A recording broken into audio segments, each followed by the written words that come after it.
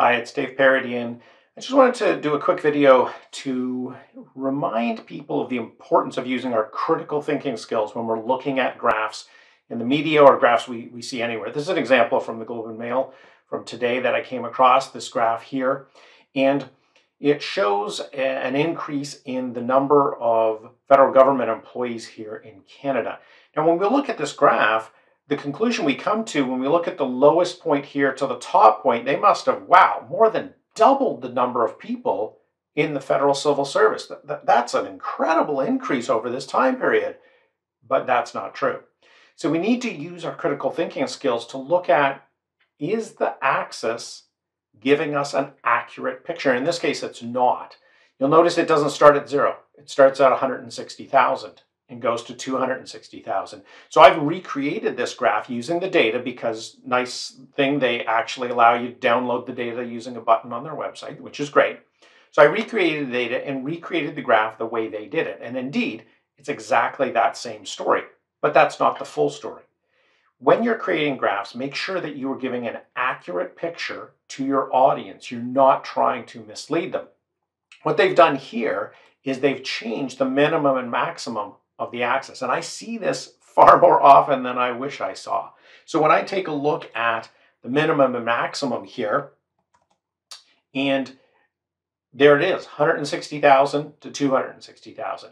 So if I set this now instead of 160,000 to zero, which is what it should be, then when we take a look at our graph here, oh wow, look, yes, it's an increase, but it's not that dramatic increase, and you don't get that misinterpretation of uh, almost doubled.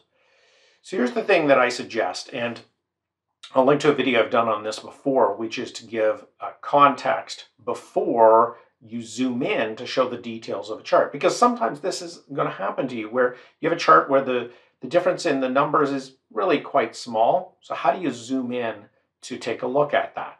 What I suggest you do is you start with the default. So here, we're starting with the defaults. I'm just going to reset uh, my axis settings here to be all the defaults.